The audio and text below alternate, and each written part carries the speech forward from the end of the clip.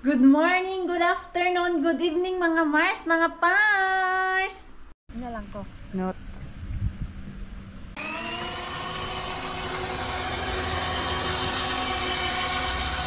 Gusto nyo ba yung pa-headband ni Mars Queenie? Nilagyan ko ng headband yung ulo ko. Oy, kasi naiinis ako dun sa maliliit kong buhok. Nagfla-fly, tapos pupunta dito sa muka ko ba.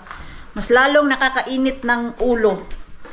Ayun si Pars, nagkakape. Si Pars, kahit sobrang init, nagkakape. Nagyaya si Pars sa akin magkape. Pero I don't feel magkape dahil sobrang init.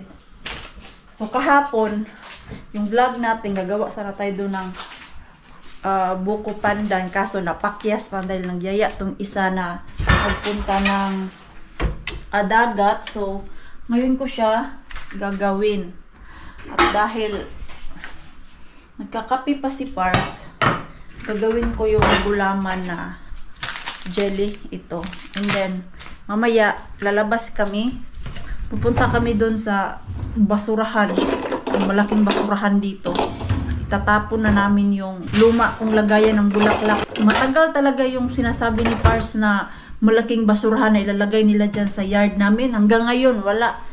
July na, wala pa ding nangyayari.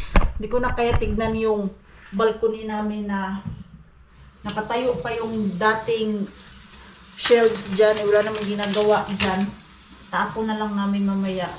Tignan natin kung magkano yung babayaran natin dun sa malaking dumpster. Tignan natin kung pwede tayo mag-dumpster doon. Saglit lang. Lagyan ko muna to ng tubig yung recipe nito kasi hindi ko maalala. So, sabi dito, make 6 cups. Dissolve 1 pack in 6 cups of water. Ah, so, sabi niya, pwede daw mag-reduce. Reducean natin. Baka kasi hindi mag-firm yung ating gulaman. Bawasan, bawasan ko ng isang cup. And then, dissolve it. Ooh, it's really green. It's very green.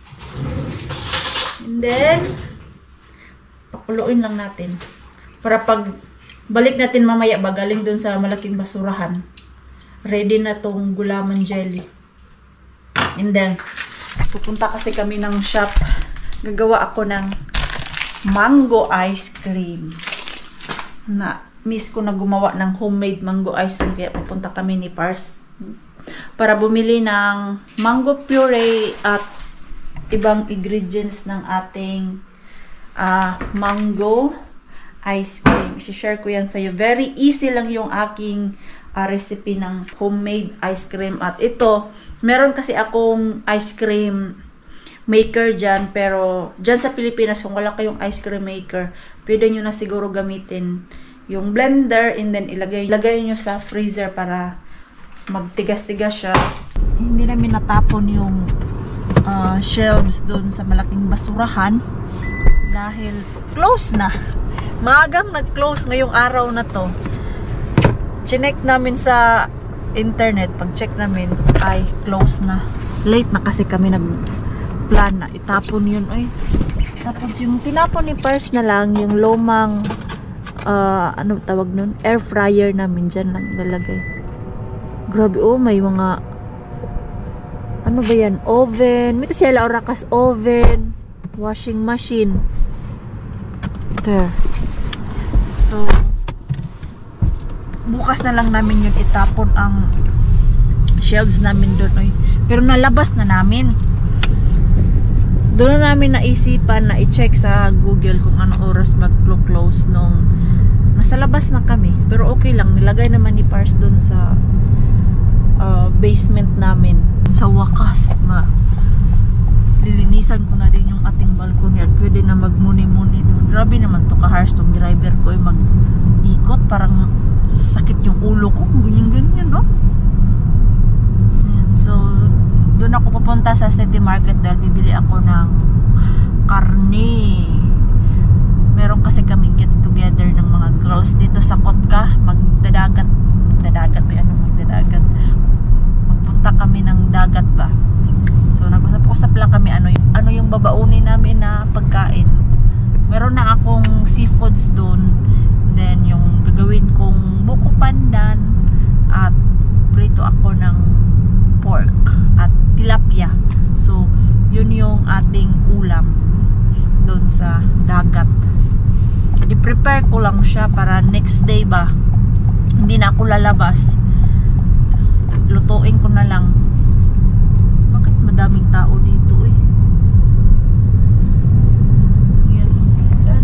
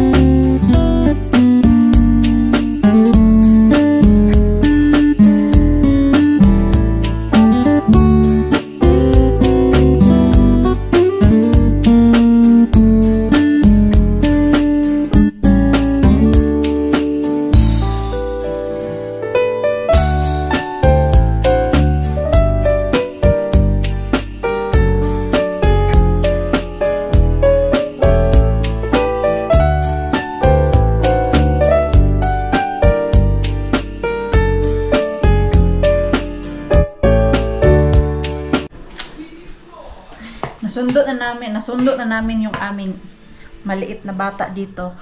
Hindi ako makapag-vlog kanina dahil iyak siya ng iyak. Hindi namin alam kung ano yung problema ng ating mixo. Ayun, tumahimik na siya. I think 30 minutes siya iyak ng iyak. Pinapakain namin, ayaw naman niya. Kasi nakita niya yung binili naming ah, ice drop para sa kanya. Yun, nilagay namin agad sa freezer kasi hindi siya kumakain ng meal ba. Ayaw niya kumain ng meal ngayon. Tumahimik na nakalimutan na niya. Kaya hindi ako nakapag-vlog kanina. Tapos ito, tinitimplahan ko na yung ating buko pandan. Uy, dito na yung ating gulaman jelly. At yung ating ah young coconut na in-slice kahapon. Hindi matapos-tapos. Ito, bukas talaga tong siya matapos matimplahan tong salad na to. Dahil yung sago nito ay wala man akong sago dito sa bahay. So, si Lani, yung kaibigan kong isa, tinanong ko siya kung merong ah, sago dun sa kanya o meron daw siya yung maliliit. So, nakiusap ako sa kanya kung pwede niya i-boil and then bukas dalhin niya para i-mix ko ulit. So, bukas pa talaga to siya. Perfect yung ating gulaman. Lagyan ko lang to ng pandan flavor para magbuko pandan flavor talaga siya ba? Paano man to buksan ah? Ayan, ang bango ng pandan. Yung tinitignan kong buko pandan recipe, wala mas lang lalagay na pandan. So, hindi yun buko pandan. Buko salad ang ending nun. Buko gulaman. Ito oh. Lasang ano talaga siya. Pandan. Uy. Lagyan natin ng isang kutsara. Yan, para maglasang pandan. Dahil wala man akong Nestle cream, ang gagamitin ko ay yung cream dito na nabibili. Ito din yung gagamitin kong cream pag nagawa ako ng ice cream. Check natin to kung okay yung lasa. Condensed milk. Tapos lalagyan ko siya ng cheese. Oh, ang konti lang muna ilagay kong condensed milk para matchansya yung tamis ba. Uy, ang green! It's very green. Yan. Ito yung ating ano. oh. Green talaga siya. Nom. Yan. Timplahan ko lang to ng maaga ba para pagpunta namin ng beach next day. Ready na yung ating buko pandan para malamig eh. Masarap to kainin basta sobrang lamig. So, so maganda pag 2 days siya dun sa freezer natin. 2 days nakastore sa malamig. Hey, Ang sarap na. Why? I think tama na yung tamis. Para hindi naman siya masyadong ano kainin oy. Ano ba tawag mo sa Tagalog oy yung maumay ka sa tamis ba? Tutuwa ako dito sa pandan flavor. Ayan. Slice lang ako ng cheese para para perfect na yung ating buko pandan. Ready na yung aking buko pandan. Lipat ko lang dito. Uy. Tinamisan ko to siya para yung sago bukas ay i-add ko. Mawa, hindi mawala yung tamis niya. Oh, diba? So, ito na yung ating buko pandan. Sarap! Yung malay tansule. Yo. At ito kay Pars. Nagustuhan kasi ni Pars. So, tinanong ko siya kung gusto niya maglagay ako sa kanya ng separate. Okay naman sa kanya. Yan, kahit isang ganito lang. Oops. Hindi man niya siya mahilig talaga sa sweet. So, yung, is this enough? Yo, enough. Kiitos. Okay. Nagustuhan niya kasi nilagyan ko ng cheese. Salamat. Welcome. Maganda daw yung ah, combination ng cheese dito sa buko pandan. Yan. And then, ang next na naman gagawin ay yung ating pang ice cream. I-slice ko lang yung ating mango na buo dahil ito man yung puree. So, ito lang yung imimix ko and then yung ah, cream. Para meron siyang cubes na mangga. I-mix ko na yung ating ice cream homemade. Ito yung mango puree. Pag wala kayong nabibiling ganito, mango puree, ah yung pure manga, I'm sure mas masarap dyan sa atin yung pure manga talaga, yung sobrang hinog na. Tapos, i-blend nyo lang. And then, ah, lagyan nyo ng Nestle cream. Very easy. Lagay ko lang yung aking mango puree dito. Ito, mga 2 cups to siya na mango puree. And then, yung cream. Ito, dahil wala mang nabibiling Nestle cream dito, ito yung ginagamit ko. Siguro isa lang ganito. 2 deciliters. And then, ah, condensed milk. Kunti lang yung ilagay ko. Itikman ko lang muna ba. Pag ako nagluto, walang measure-measurement yan. Diretso yan lagay. Kunti lang yung aking ilagay kasi matamis pala yung mango puree. Hmm, dagdagan ko ng ganito. Yung cream, tikman natin. Kulang pa. Lagay natin yung pangalawang cream. Mixo! Ano ito mixo natin? Uy, iyakin. Yo, easy Ciela. You want to come here? Come here. You want to watch what I'm doing? Mm. Kasi yung tatay niya andun sa labas, nagpupo-upo. Eh, ayaw siya papuntahin doon kasi umaakyat. Baka mahulog ba? Yan. Oh.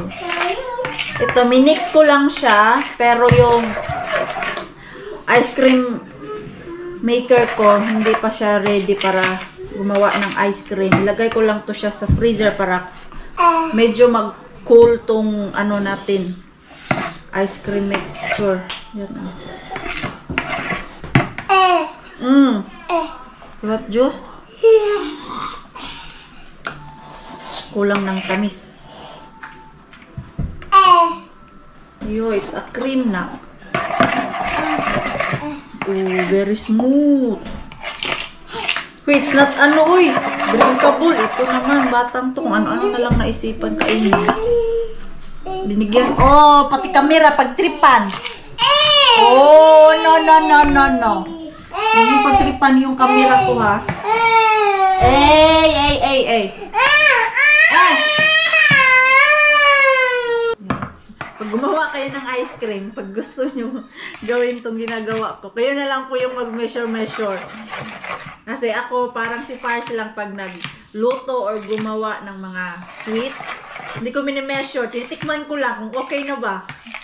Pero yung iba, pag nakukuha ko siya sa Google, ayun, sinusunod ko yung aris ah measurement niya pero ito kasi ako ako lang kasi nag-eksperimento nito kaya kung ano yung nagustuhan ng aking panlasa yun na.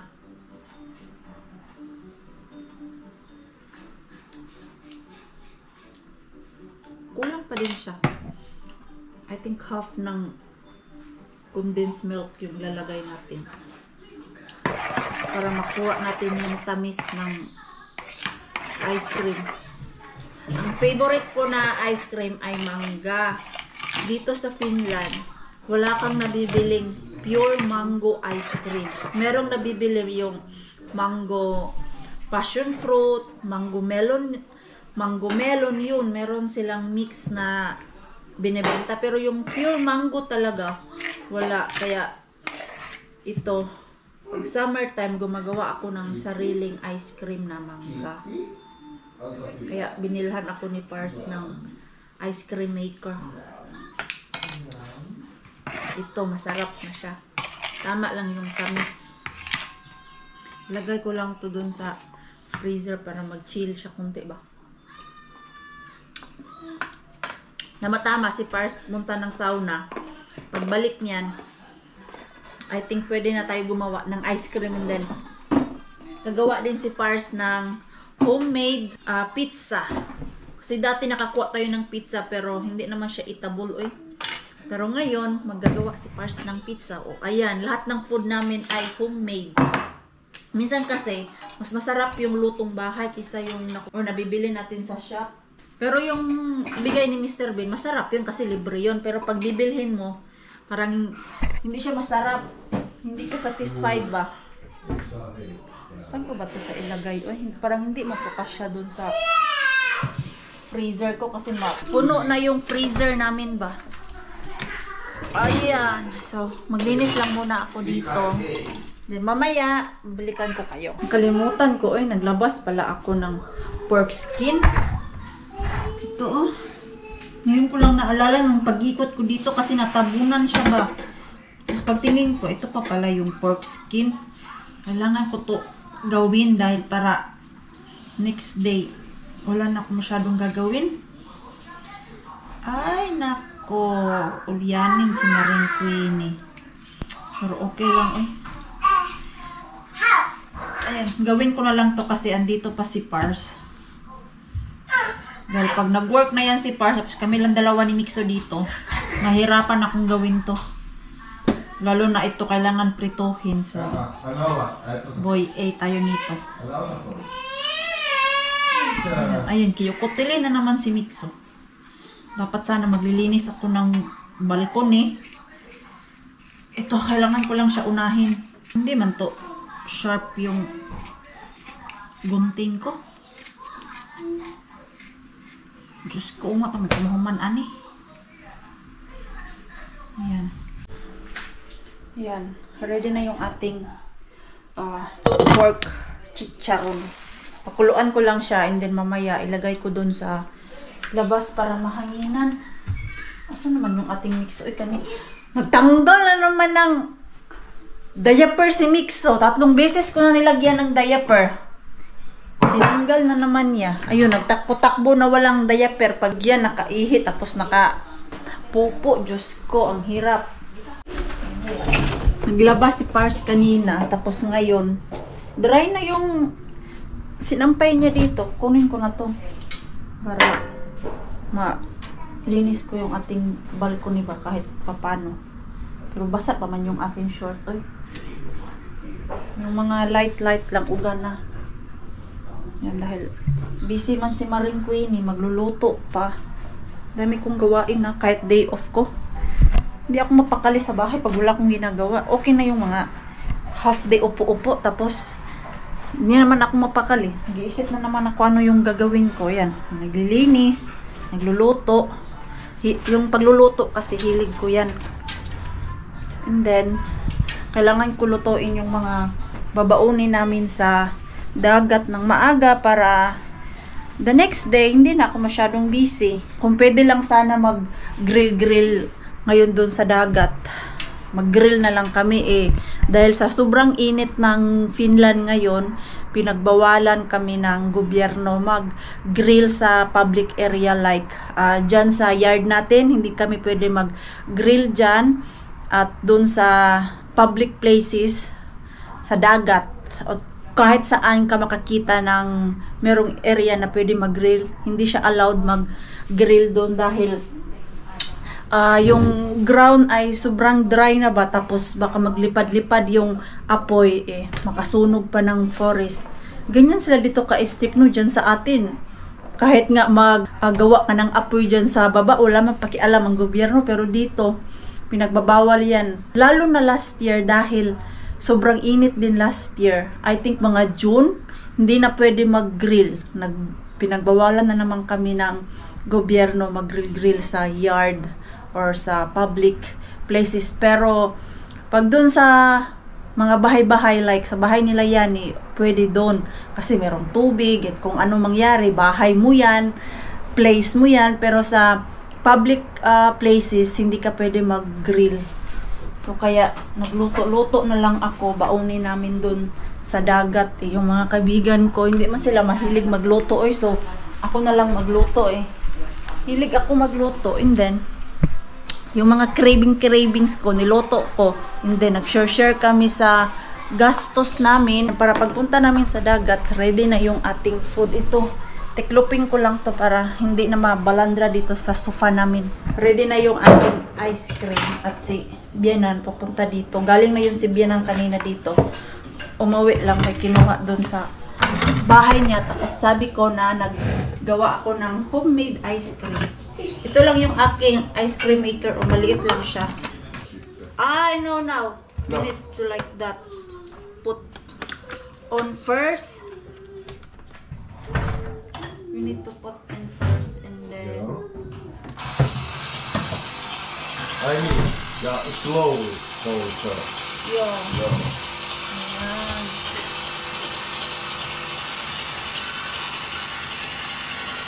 Woo!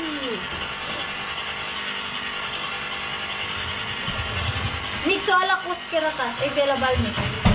Excited, Mixo? Yeah! Excited daw ang aking Mixo.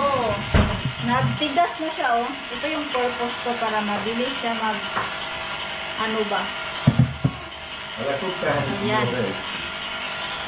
Lagyan natin more. Ito yung na-slice ko na mangga.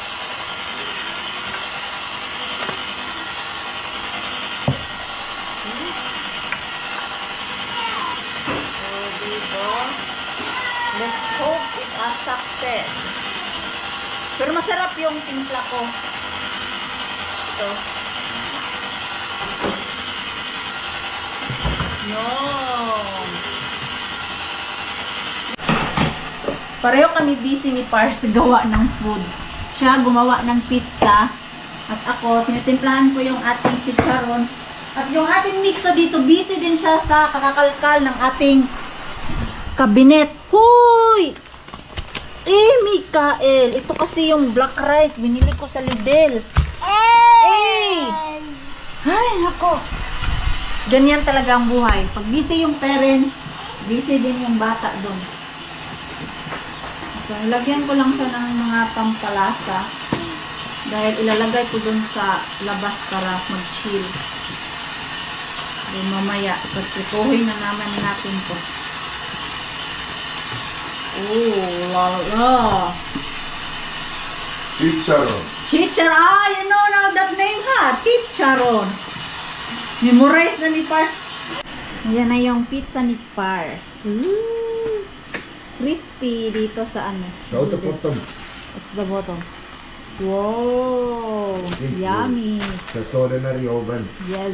Let's taste if it's yummy or not. But usually, Pars Marco, pizza is yummy. Tapos yung maglola dito, dito sila sa...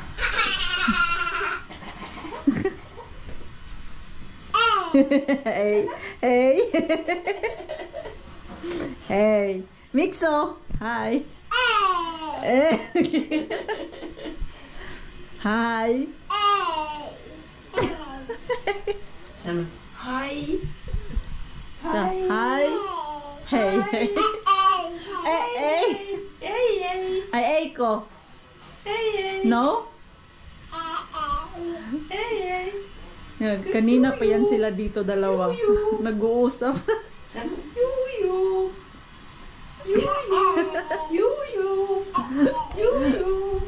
Ayan, prepare ko yung aming pizza para nakakain din. Imbitahan din namin si na kumain ng pizza, homemade. Uy, parang sasabog na yung tiyan ko sa busog eh. Katatlo akong pizza ni Pars. Masarap yung pizza ni Pars ngayon ba? At yung ating ice cream, hindi pa tapos. I think, hindi yun siya magtigas ngayon kasi yung lagayan namin, mabilis lang yung ice cream maker namin. Bilis lang siya nag-melt dahil ang init dito sa kusina namin. So, mga 30 minutes nag-melt na. Hindi na siya as in sobrang lamig. So, binalik ko dun sa freezer. Tignan natin mamaya after 30 minutes. Dahil while waiting tayo sa ating ice cream na magtigas, magpiprito na ako ng ating chicharon. Dahil alas 8 na dito ng gabi ba? Bilis ng oras, oy. Mixo, you want to sleep na, Mikael? Yung ating mixo, hyper na hyper. Tama na siguro yung mantika. Maglagay na tayo ng ating chicharon. Kailangan ko ng panagang. Ito, ilagyan ko na siya kasi hindi pa mainit. Oh my God! Good luck to me! Sana hindi ako maputukan. Ayan. Haluto na yung first batch ng ating chicharon at meron na akong isang customer. Nami? yeah, it's yummy no? Yan. Ito yung aking naluto. Nakainan na namin ni Mixo. Meron pang natira. Madami pa. Tapos nakulangan yung timpla ko. Nilagyan ko siya ng crispy fry. At yun, para hindi ako maputukan, nilagyan ko ng cover. Yung wooden chopping board ang nilagay ko para mabigat siya ba. Para pag pumutok, hindi ma-open yung takip niya. So, yan yung magandang takip dyan sa ano ko lutuan. Bilis kumain, oh. Nam!